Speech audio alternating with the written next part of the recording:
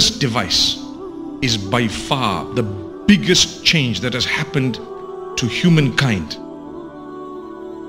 in a long, long time. It has changed all of us. There was a time when just to take a photograph was a mission. I, when I was young, let me tell you, there was a 110 film that you had to get and open it into a Kodak and put it into there, close it. Prior to that, it was out. We, when I was very little, I remember going to get passport photos. The guy put us into such a dark room and put like cloth, like black cloth. And he had a little, like a big typewriter sort of a thing. And he started turning turning something round and then he says okay that's fine it's done I say what's done he says don't worry come next week you get the pictures next week huh.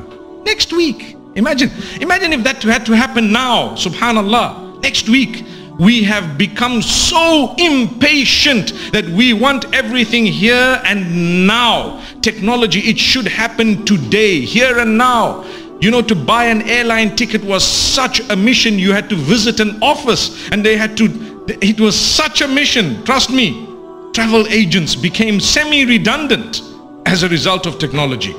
The post office has changed completely. When last have you sent someone a letter by snail mail? Hardly ever. Someone told me I need to send you a letter but it has to be your PO box. I said it's not going to come to me. So just leave it.